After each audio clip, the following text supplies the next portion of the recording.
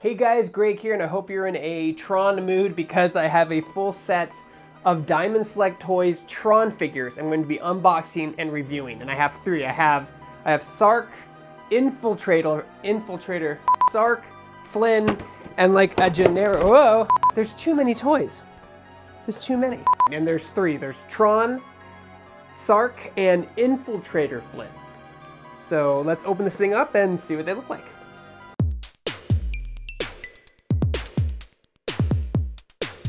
So Diamond Select Toys just put out a set of original Tron figures based off the 1982 film.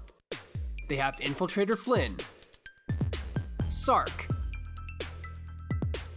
and of course, Tron. The packaging looks great and features key art from the 80s film on the back. as well as a brief description of the story from the famous 1982 film. Let's start with Infiltrator Flynn, whose figure stands about 7 inches tall.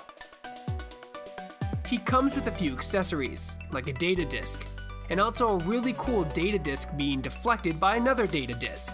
That's a lot of data disc. Try saying data disc three times fast.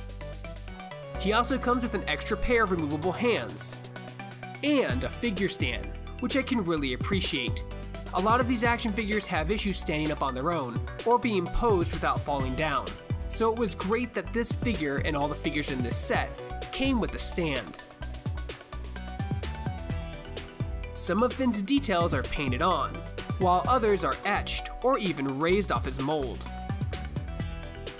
His face features decent detail for a $20 action figure.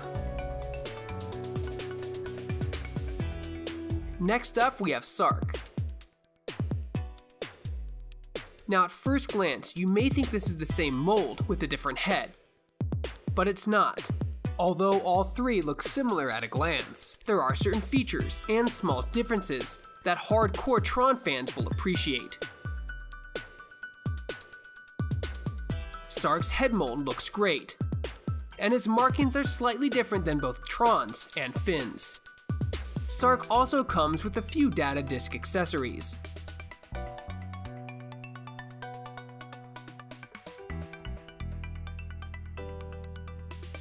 stand,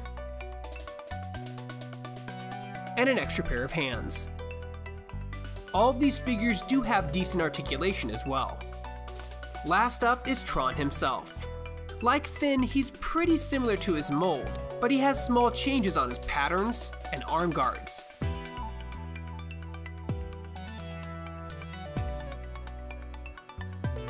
Like the others, Tron also comes with an extra pair of hands a blue energy data disc, and a figure stand. Now these are very similar to the exclusive Walgreens Tron figures they carried a while back, but these are different, mainly because they come with a lot more accessories.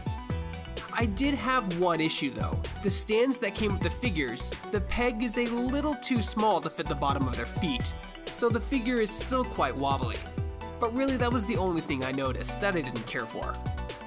All three of these figures are available now at local retailers, and they retail for $19.99. For more unboxing and reviews, you're already in the right place, you're on ShackNews.com.